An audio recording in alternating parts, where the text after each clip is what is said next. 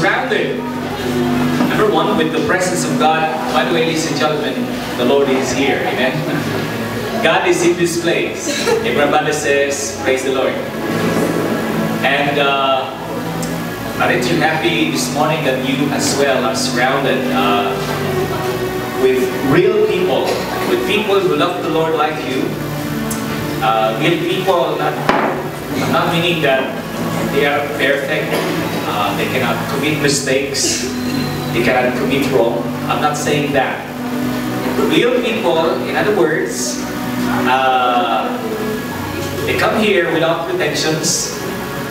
Their wish like you is to worship the Lord and to thank Him because He had been very, very good to his, to her life within this whole week. Amen? Hello! Amen. I'd like you to shake somebody's shoulder and say, I am happy to see you today in the house of the Lord. Come on. Success is promised by the Lord to every child of God. We're happy to hear the testimony of Brother Hermie. I call him Mickey Boy. He grew up literally in, uh, in Acts. I think he was second year, or they were second year when Atisha brought into the church. And ever since, he fell in love to Acts. There is yet another, uh, used to be young people, we are waiting to come back. But it's just, that the matter is living in, uh, in the West Coast. One time he sent me a message expressing yearning and the missing he has in the church. I'm talking about Kuya Jason, the brother of uh, Auntie Margie, no? Uh, 2013 Miss Apuaga. Jason said, once an Acts is always an Acts. Will you say yes for that? Amen? Amen. Already the church. Well, this morning, I just so feel, in the name of the Lord, to preach this sermon which I am going to entitle Respond Yes and Not Excuses.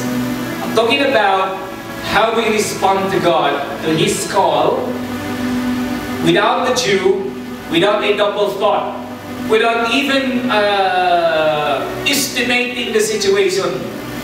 Right away, in faith, when the, when the Lord calls, when you hear His voice, respond yes. Amen? Amen. I'd like us to open our Bibles, ladies and gentlemen. Now, if we can stand, uh, God is really very on fire for the Lord. God bless you, son. And that shall be our passage. Ladies and gentlemen, I would like us to open our Holy Scriptures the book of Luke, chapter 14, beginning verses 16 to 21. I think I should be reading from the New International Version. We can share Bibles together. Praise God. Okay, if you're ready, I will lead you in the reading. Join me after. Here we go. Jesus replied, A certain man was preparing a, a great banquet and invited many guests. At the time of the banquet, he sent his servant to tell those who had been invited, Come, for everything is now ready. But they all alike began to make excuses. The first said, I have just bought a field. I must go and see it. Please excuse me. Another said, I have just bought five yoke of oxen. I'm on my way to try dinner. Please excuse me. Still another said, I just got married, so I cannot come. The servant came back and reported this to his master. Then the owner of the house became angry and ordered his servant, Go out quickly into the streets and alleys of the town and bring in the poor, the crippled, the blind, and the lame. God bless the reading of His Word. I would like to invite us, let's just bow our heads and commit ourselves to God for praise. You may be seated. Elvis Presley, do you know him? He is uh, monikered as the king of the rock and roll. Do you know, before he was named as the king of the rock and roll, he actually was an evangelist. And uh, he was a singer, church singer. There was this, uh, during the 80s, the late 70s, a very popular tele-evangelist by the name of Jimmy Swaggart. This, how, this, uh, this is how I have heard. Jimmy Swaggart and uh, Elvis Presley were actually cousins. And they were contemporary in their growing, growing years uh, in, their, in, this, in their response to the call of the gospel. You just imagine. And then, and then what had happened to the man? Because later, he wasn't just involved into singing, you know, worldly songs. By the way, there are, uh, we call this secular music, or worldly songs, that, you know, are clean songs. Many of them are love songs. And there are also, uh, you know, other genre that are really clean songs. But I would say we need to be very careful because most of the secular music, worldly songs, are polluted ones. Are you with me? Amen. That is why it's still always safe to sing and to listen songs or music that are worship and praise songs. No pollutions at all. Amen? Amen. Let's give the Lord a clap of praise. Because Elvis Presley became bound to drugs. He became uh, a drug dependent. That along in his journey though, he became uh, very famous, people to the extent of adoring him. Uh, I'm, I'm not saying that so much because Elvis is not my generation, but uh, Michael Jackson. Have you seen uh, some some concerts of uh, you know big names where people would just faint because after seeing their idol, who are these ba in your generation? Uh, Shakira. Uh, I mean, you have saw a lot, you know, because of the advent now of technology, in a push of a button. Uh, yun, Elvis Presley, people would go on frenzy. Uh, some would feign and adore and already hit to the extent of worship. I mean, they worship this man then as the king of the rock and roll. But the question is this, what happened alone that this person who already was following the call of God deviated? Turned his back away. And eventually the middle saying, no, no more, no more, no more to you. There are other names in our time. Uh, I'm not very much sure how he is doing now. Justin Bieber, how we pronounce his name? Justin Bieber. Justin Bieber. Justin Bieber. Uh, because there's another Bieber. Bieber, I'm sorry. Justin Bieber. Okay. Uh, Justin Bieber grew up in church. He played drums in church. He sang along the choir. Then there was this break. That is why, ladies and gentlemen, we really need to be careful, not just on our trials, as well when the blessings come. Because there often, when the blessings come, we easily do forget already the call of God into our lives. Hello? Amen. We easily get blinded. Now, Justin Bieber alone, after he had the break, 12 years old, he was discovered via YouTube. He became, you know, a sensation. Then his life dwindled down, spiraled to the oblivion that he involved to a lot of vices. But accordingly, some of the young people told me, Pastor, no more this time. Justin already rededicated his life back to God. There's another woman singer. Uh, is, is it Katy Perry? Katy Perry is a very, very own pastor's daughter, PK. Grew in church, loved the Lord, then stardom blinded her eyes. And one day, you know, in uh, in a national TV, and uh, you can see it online. It's archived online. She denounced her faith in the Almighty. Hello, amen. Amen. I'd like you to place your palm to you. It says, We are about to say and to ask God, Lord, be merciful to me that I say, let's slide back. That okay? We're going to pray that the Lord will hold us in His palm. That, you know, the calling of God into our lives will not just be good only as to the middle, but it will be up to the end. Everybody says, Praise God. Praise You God. ready? Place your palm to your chest and say that with me. Almighty God, hold my life that I can continue in the end. Amen. Amen. Let's give the Lord a clap of praise. The Lord here in the story was offended because uh, He actually sponsored a big banquet. Younger generation do not understand anymore what is meaning to banquet. Much this is a moaga. All you, all you think and you have in your minds uh, is party. Well, party. Banquet is something bigger than a party. Banquet is really, I mean, super, uh, super meal, super extravagant, where the party goes on not just for an hour.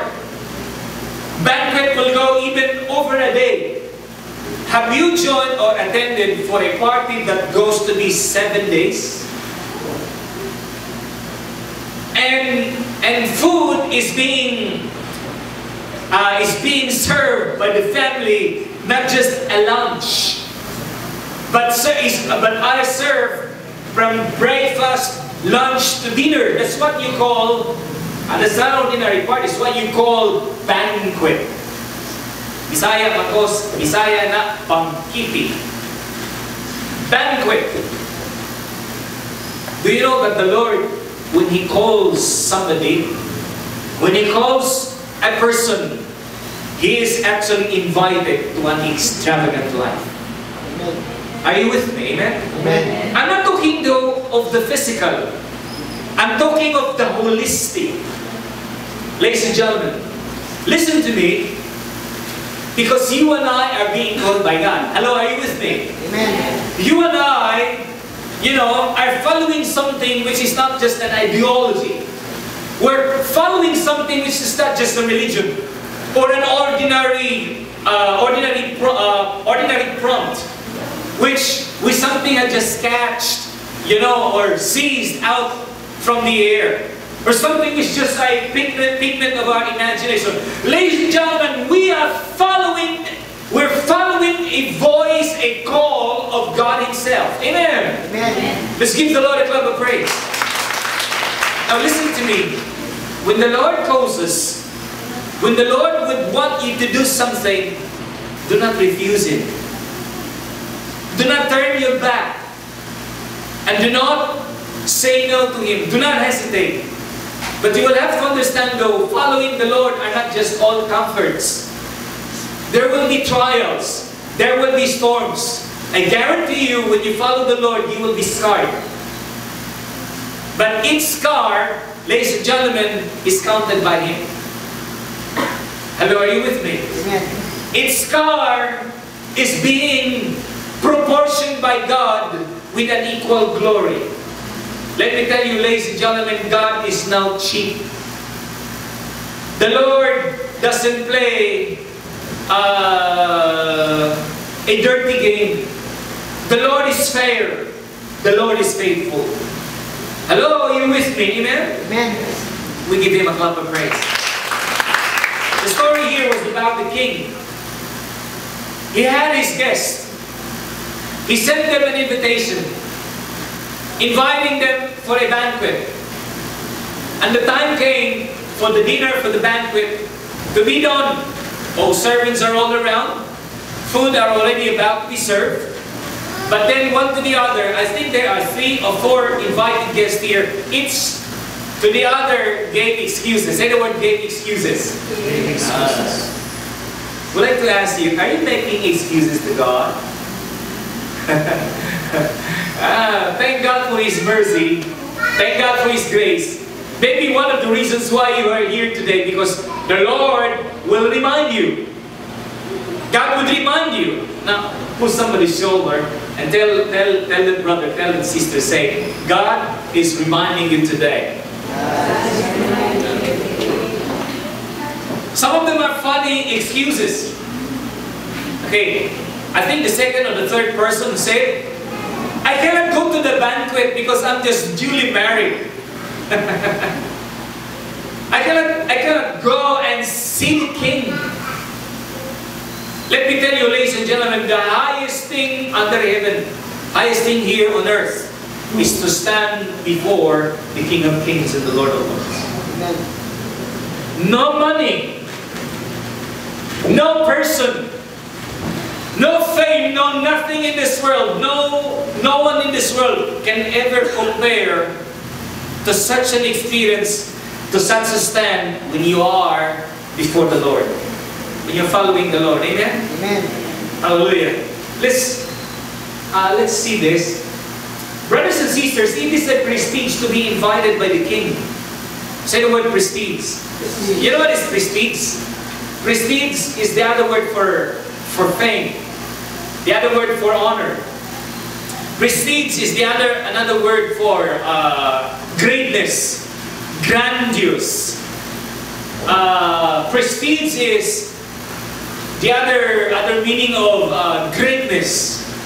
Mean to say, when the Lord calls you, it's something which is famous. It's something which is grandiose. It is something which is inexchangeable.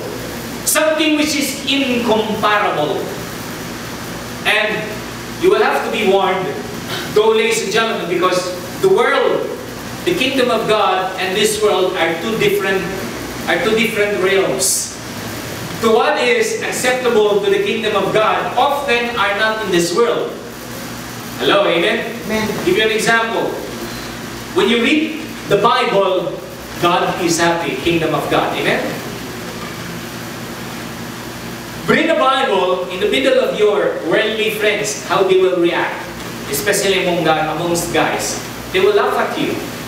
Especially when you're surrounded with maybe a pundador. There are eight friends, and a glass, and ice, and uh, each will say, okay, your, your, your toes, your... Everyone will say, oh, okay, okay, and then give it to you. Oh, what you have in your pocket? Pass yet, bro. No, you're in a group. Ah, that cannot be because we are in a circle of friends. You will be offending us. By the way, what's in your pocket? And you pick, pick out, and it's actually a New Testament Bible. Say, the world. The word. You need to be oriented on that. Because we are not detached in the world. I know what I'm saying because I have a plenty of friends that are from the world. I cannot avoid. You know, when I'm in school, when I am together with stakeholders in this world, and uh, good because they are, they are knowing and they are understanding and they are respecting that I am following Jesus. I'm a child of God. I am, I am born again. But let me, let me tell you, ladies and gentlemen, as you follow the Lord Jesus, as you follow the King, it is something which is very great. Amen? Amen. Do not just shrug your shoulder and say, ah, you know, uh, I'm born again. You know, uh, wala kasing magawa sa buhay, kaya nagbasa na lang ako ng Bible. Eh, paano? Wala akong mapuntahan eh. Kaya nandito ako sa Acts. Huwag ganun. Hello, amen? Amen. Kailangan hindi lang isa sa mga choices si Lord. Kailangan you will have to understand the Lord is your only reason. Amen? Amen. Kasi apart from Him, apart from the presence of God, it's a miserable life. Are you with me? Amen? Amen. And you know what? The invitation is given to us many. But the number are making their excuses. Si Lord invites ng maraming, maraming, maraming tao talaga. But the sad thing is this, sa karamihan ng tinatawag ng Panginoon, there are a good number of people that are saying no, making their excuses. Now, listen to me. Are you not thankful to the Lord that amongst the few, amongst the few who said yes to God, you are one of them? Amen? Thank God. I'd like you to close your eyes and raise both of your hands and tell Him, Lord, I'm thankful. I am grateful to be one of the few who responded to you. Amen. Let's give the Lord a clap of praise. That's it. Here we go. Immunity and protection comes when you say yes to the Lord. Say the word immunity. Unity. Say protection. Protection. Now, I will not scare you right this very moment, but I will bring you to certain realities to what is happening all around today.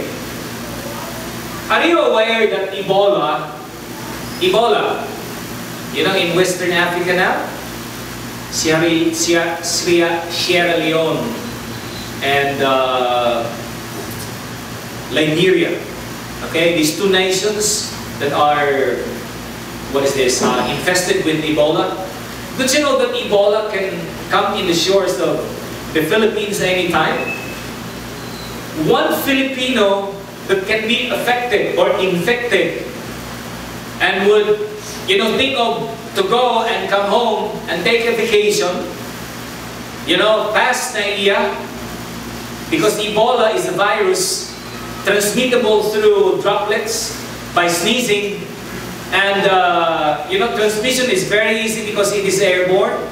And transmission can be by, I mean, uh, exponential in, uh, what is this? Uh, exponential in rate.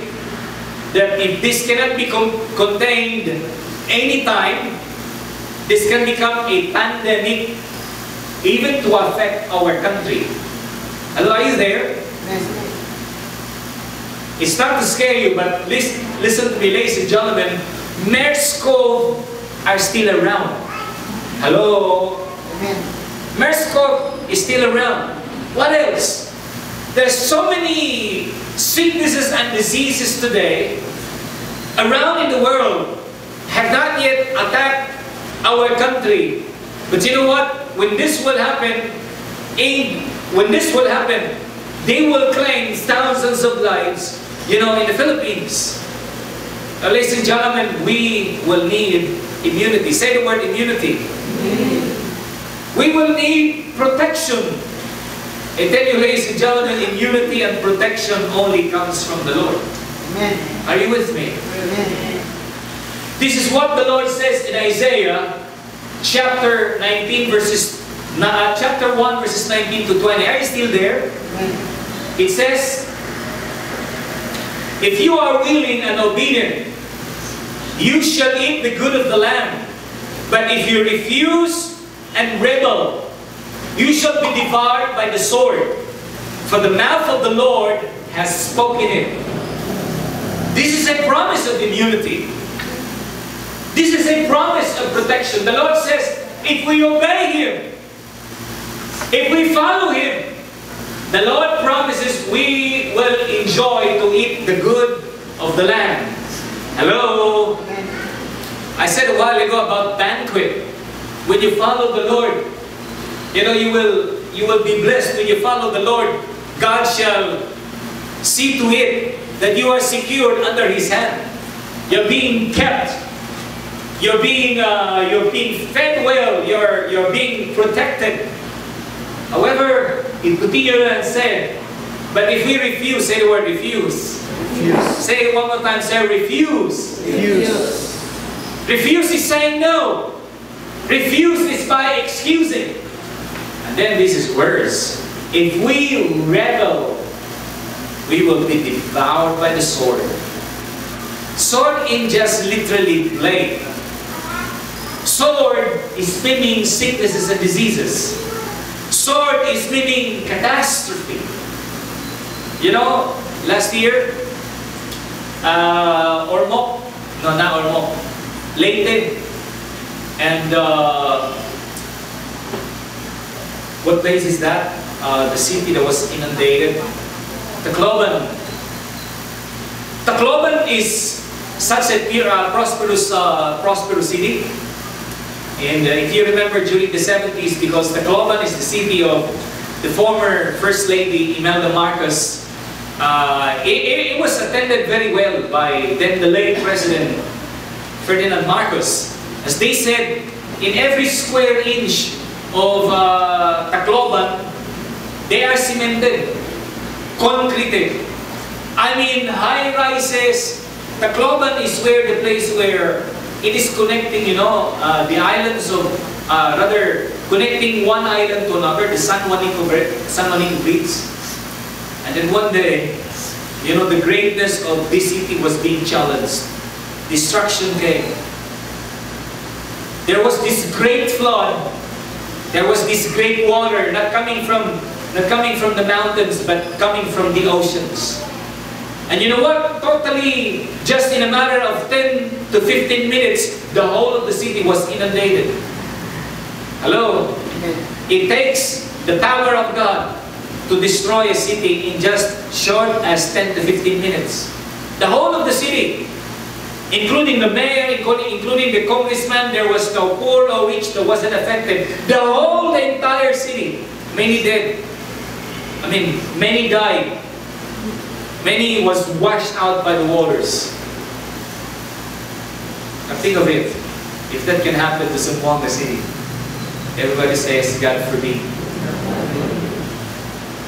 Say now with me, say, God forbid. God forbid. Sa Bisaya na simba ko.